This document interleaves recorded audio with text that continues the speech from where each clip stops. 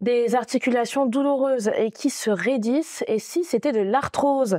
Euh, Son nom n'est peut-être que peu connu sous nos cieux, mais c'est la maladie articulaire la plus répandue dans le monde. Euh, si cette affection est généralement associée aux personnes âgées, tout le monde est concerné. Euh, comment s'en prémunir ou comment la soulager? Pour tout savoir sur l'arthrose, nous recevons dans ce nouveau numéro de C'est-à-dire le professeur Edmond Etty, rhumatologue. Professeur Etty, bienvenue. Merci. Bonjour.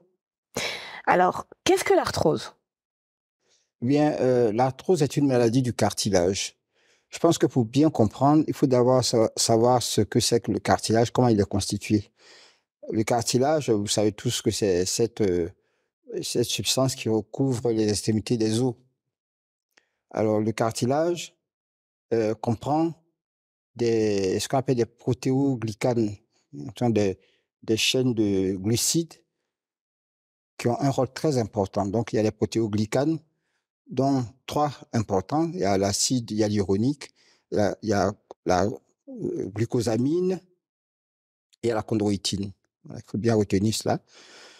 Et à côté de cela, il y a la membrane qui recouvre, euh, qui, donc, euh, qui, qui est de part et d'autre de l'extrémité osseuse donc, les, deux extrémités osseuses qui, donc, qui sont recouvertes de cartilage sont emprisonnées dans une membrane, ce qui constitue l'articulation.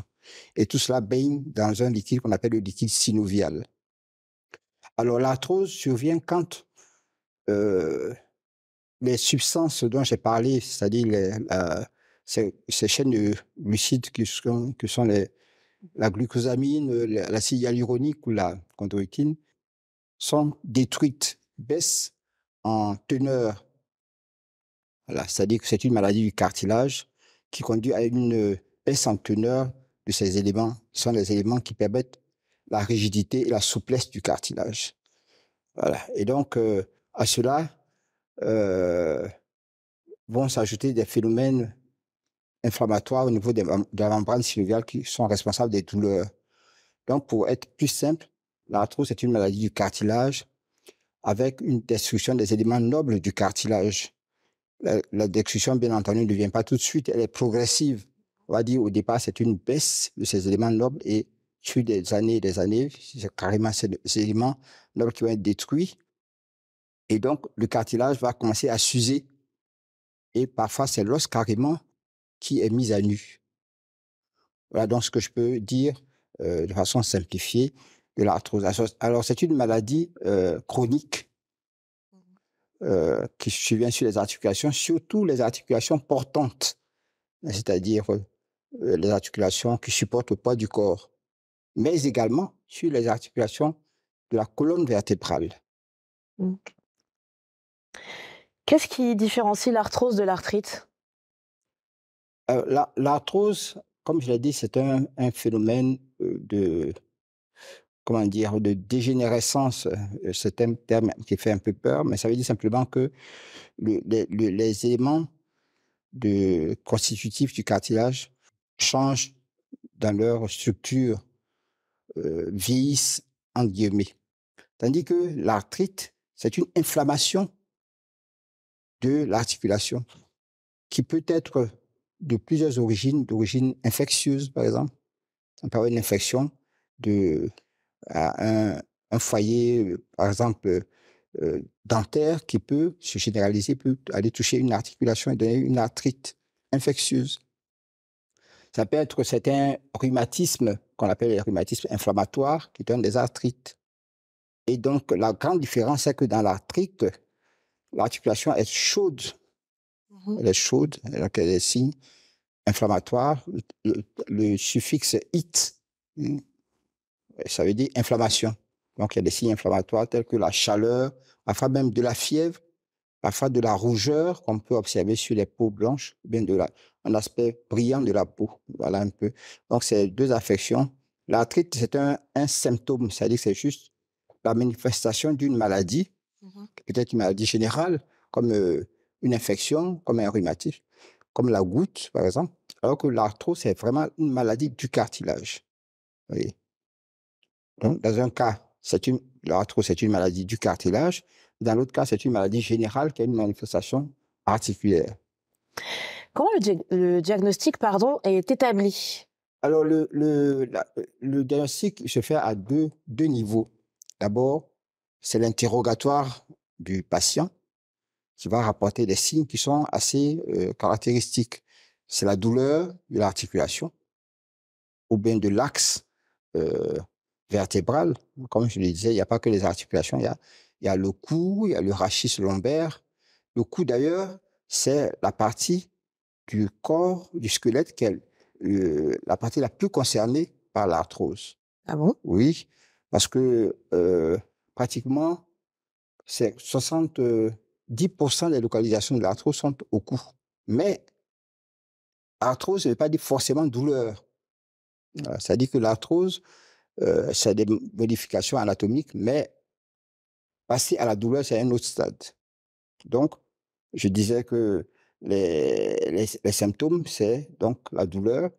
C'est une douleur qui est dite euh, mécanique, c'est-à-dire que c'est une douleur qui va apparaître avec les efforts, les articulations, par exemple, portantes comme les genoux ou la hanche. C'est une douleur qui apparaît quand on marche. Et dès qu'on on, s'arrête de marcher, la douleur diminue, elle peut même disparaître. Ensuite, à cette douleur peut s'associer un autre signe qui est euh, assez un, élément de gravité, j'allais dire, c'est le, le gonflement de l'articulation.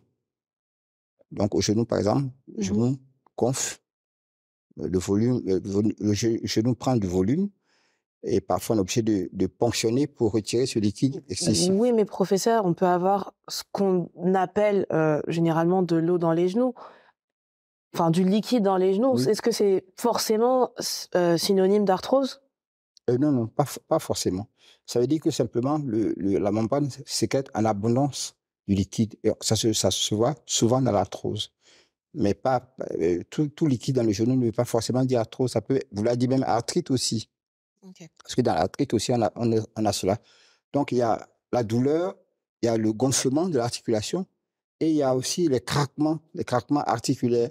un stade avancé de l'arthrose, il y a des, des, bruits euh, que les patients rapportent souvent, même parfois qu'on entend quand, euh, quand ils font certains mouvements.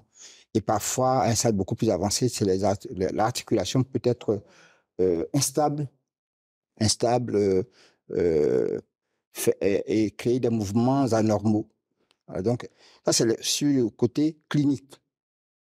Maintenant, le diagnostic de l'arthrose est confirmé par l'imagerie. il faut forcément faire une radiographie pour faire le diagnostic de l'arthrose. On ne peut pas s'arrêter simplement à l'interrogatoire ou à l'examen. Et il y a des examens, la radiographie, la radiographie déjà, quand elle montre des signes, ça veut dire que l'arthrose est avancée.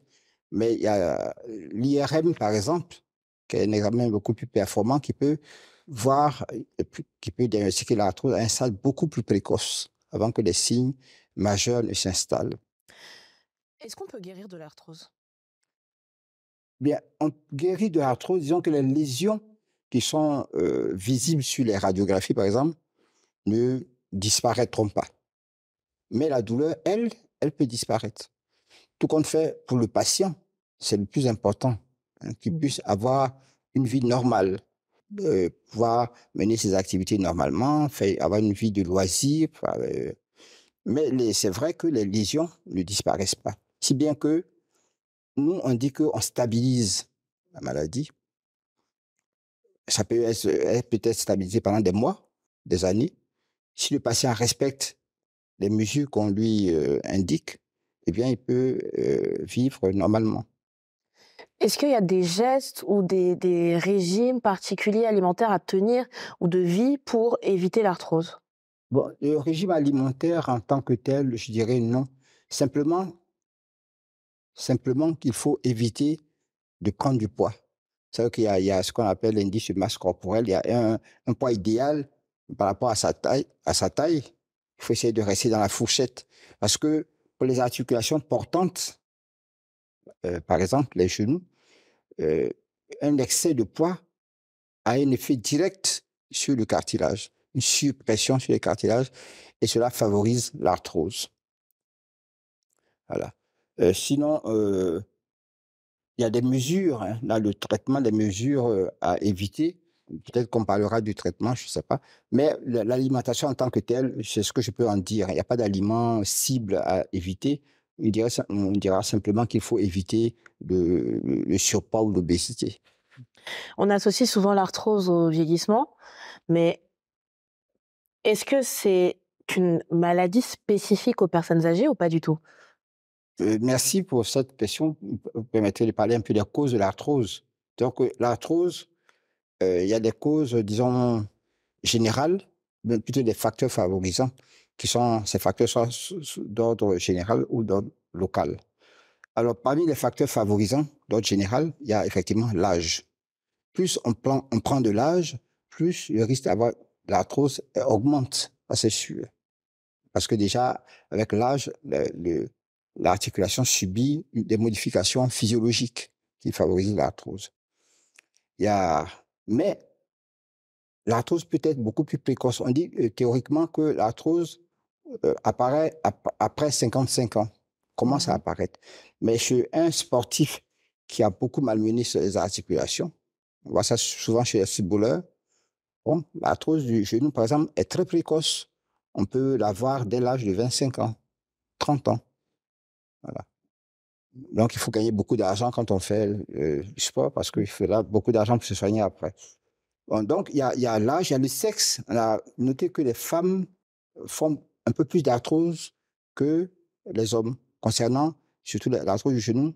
Il fait d'une, de, de, disons, petite malformation anatomique. Les femmes ont les, le plus souvent les jambes soit en, légèrement en X mmh ou bien en parenthèse, surtout les femmes euh, au sud de la Côte d'Ivoire, les femmes on voit ça souvent. Et ça aussi, ça favorise l'arthrose parce que les pressions sur le cartilage ne sont pas équitables. Voilà. Maintenant, il y a les facteurs, excusez-moi, je vais juste finir avec les facteurs locaux. C'est très important. C'est-à-dire que les, les micro-traumatismes, les traumatismes francs, créent des fissurations du cartilage. Quelqu'un qui a eu un choc, un accident de la voie publique, par exemple, à l'âge de 20 ans, qui a eu un, accident du tableau de bord, comme on le dit, c'est-à-dire qu'il s'est pris le, voilà, une collision au genou, eh bien celui-là a son articulation qui est fragilisée et c'est pas étonnant qu'à l'âge de 40 ans, 50 ans, il commence à avoir des problèmes. Il y a ceux aussi qui ont des, des malformations. Quand vous voyez des enfants qui ont, qui ont les jambes, les, les jambes en parenthèse, on voit ça souvent les jambes en X, il faut forcément, il faut, faut essayer de corriger cela parce que c'est des enfants qui vont faire de l'arthrose de façon précoce. Dernière question, il y a un autre cliché qui revient très souvent quand on parle d'arthrose, en particulier en Europe, c'est le fait de craquer ses doigts. Alors, est-ce que euh, ça accélérerait euh, l'arthrose ou c'est juste un mythe? Bon, je dirais que euh, si c'est fait de façon exagérée et de façon un peu violente, forcée, on peut supposer que on crée des micro-traumatismes qui, à la longue, c'est-à-dire suite des années, des années, vont finir par quand même altérer le cartilage. Mais quelqu'un qui craque ses doigts une fois, bon, par mois ou bien je sais pas, n'a pas, ne prend pas de risque. Mais effectivement, il faut, faut éviter l'excès, hein, parce que Parmi les causes de l'arthrose, les causes locales, il y a les micro-traumatismes. Donc, on peut considérer ça, on peut considérer les craquements volontaires des doigts comme des micro-traumatismes. Quand ils sont répétés, ils peuvent favoriser l'émergence de l'arthrose. Merci, professeur Etty, d'avoir répondu à mes questions. Je rappelle que vous êtes euh, rhumatologue, à savoir que le 17 septembre est la journée mondiale consacrée à l'arthrose. Merci à vous, chers téléspectateurs, d'avoir suivi ce nouveau numéro de C'est-à-dire. L'actualité se poursuit sur cette info et cette info.ci.